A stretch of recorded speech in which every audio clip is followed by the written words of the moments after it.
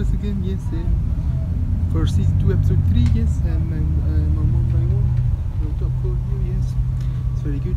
Um, I mean, I'm going into town again. Um, the bus is just the same buses every time, 37. There's not really many buses that go my way. So, yeah.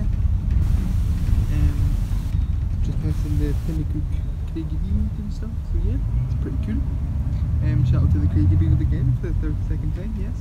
Shout out to everyone else that wanted to shout out, yes. I thought I'd start a shout out, thank you. Cool. Ooh,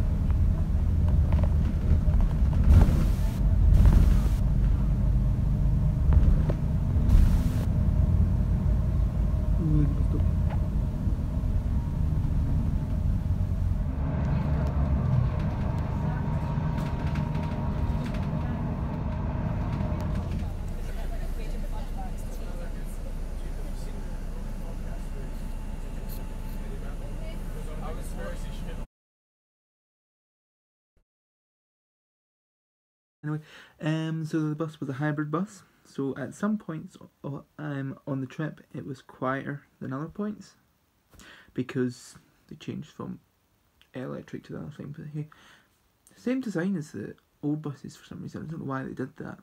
I didn't really enjoy that. But all in all, it was a clean bus. Probably the cleanest bus I've ever been on. Didn't smell. That was a good thing. The last bus that smelled quite bad. That's why I gave it such a low review. But yeah, the bus was fine. Yeah, so I'd give it six out of seven.